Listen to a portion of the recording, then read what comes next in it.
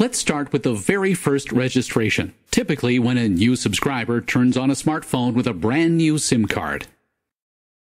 The gNodeB sends out a system information broadcast, which allows the user equipment to detect the gNodeB.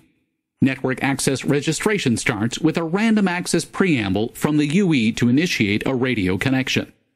During the random access procedure, the gNodeB cell will allocate a radio network temporary identifier, RNTI, to uniquely identify the UE in the cell.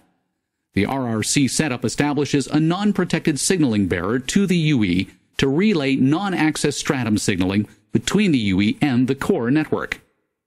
The user equipment has no 5G globally unique temporary identifier, so it sends its SUCI in a registration request message, which is not cryptographically protected.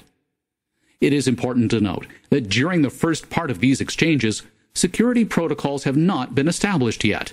The user equipment and the core network are exchanging pre-authentication traffic, which is not cryptographically protected.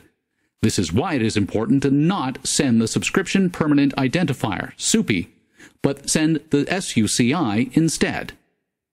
The SUCI is deciphered by the home network and used to find the subscription permanent identifier and retrieve the subscription data and authentication credentials, so that the authentication procedure can be carried out.